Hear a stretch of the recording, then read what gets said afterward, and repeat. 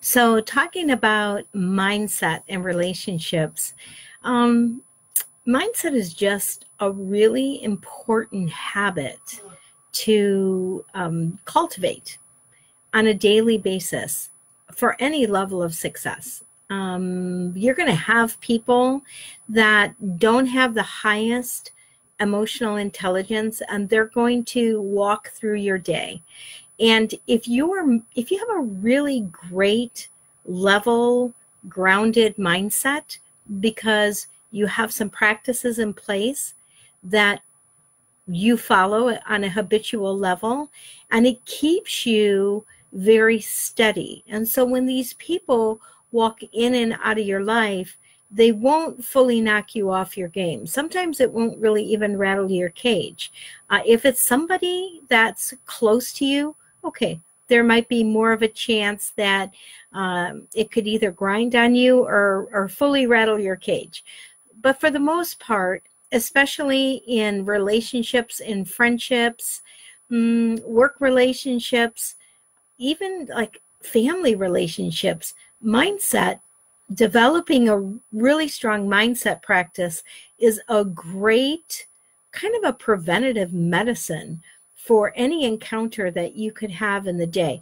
If we encounter someone and, and, and it's a up and it's a positive, well, yeah, we're we're going to uh, come up and respond accordingly. But if our mindset is conditional, if it's conditional to who we encounter, what situations we interact with in the home, outside of the home, if it's conditional on that, you will get knocked off your game. You will get pulled down. You will not maintain a a steady, centered sense of of good good feeling inside of you.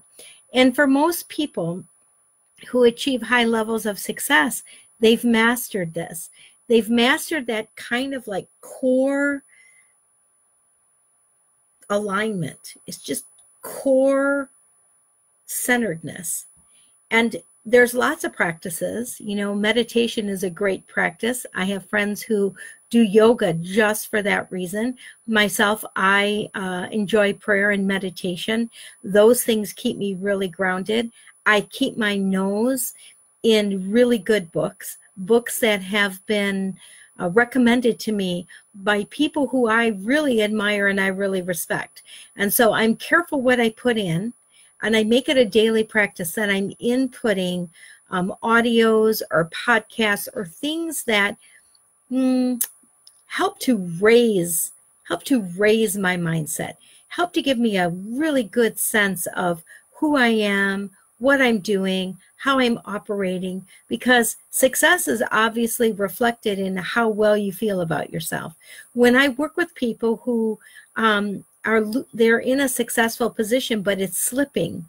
And they know it's slipping because something's going on at home or their their partner relationship is suffering. It shows up and it eventually shows up. And so um, meditation uh, yoga mm, uplifting audios good books these are all things that do help our mindset and if they're practiced in a habitual form, like an everyday, a daily habit, then your mindset becomes much more steady and you're less rocked off your game. Now, if you are somebody who is um, an advancing leader or you are successful in a certain career path and you know that things are slipping you can feel free to reach out to me. I do work one on one and I prefer to work with industry leaders. I have been in business myself for um, over 40 years now. And so I do understand the, the stress on the family, the stress on the relationship, different stressors. But here is one thing when we keep our mindset, when we proactively program our mindset to be steady, it does make a difference at home. It makes a really big difference at home. It makes a big difference in the office. It makes a big difference, just makes a big difference. So that's my recommendation for today is develop a mindset practice. I've just wrapped up working with um, actually a young man who is um, quite successful. And, and for his age, he's quite successful in his career path. And he he went through some tough times and reached out and we've worked together for a little bit now. And the one thing that i can really point to is that he did adopt that practice of mindset daily mindset discipline. It is a discipline. Like if you go and walk on a treadmill every day you know that's a discipline. If you count your steps every day that's a discipline. Well programming your your mindset, programming like your core centeredness, so that when the winds of life come, and they're going to come, they're going to come tonight, they're going to come tomorrow, they're going to come the next day.